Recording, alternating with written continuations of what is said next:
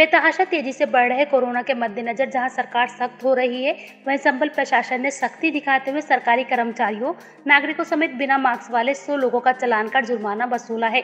सरकारी कर्मचारियों के चलान कर एसडीएम ने साफ़ संदेश दिया है कि कोरोना गाइडलाइन का उल्लंघन करने वाला बख्शा नहीं जाएगा, चाहे वे कोई भी हो। आपको बता दें, जहाँ देश भर में आज रिकॉर्ड एक लाख कोरोना संक्रमित मिले हैं। संबल में भी आज 11 लोग कोरोना पॉजिटिव निकले हैं। ज़िले में भी एक्टिव केस तेज़ी से बढ़कर 55 हो गए हैं।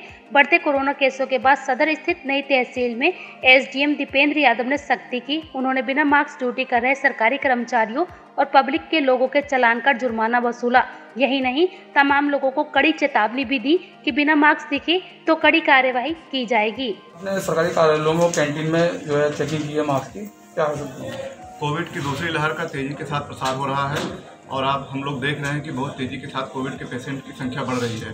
लोगों में जागरूकता पहले जैसी लाने के लिए सबसे पहले सरकारी विभागों से कार्रवाई हम लोगों ने शुरू किया है जिससे कि लोगों के बीच एक संदेश जा सके।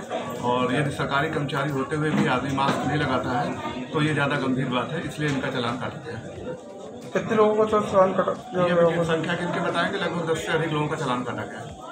कितने रुपए का चालान काटा हुआ है? ये पाँच सौ रुपये तक अधिकतम चलान है वो कार्रवाई की जा रही है।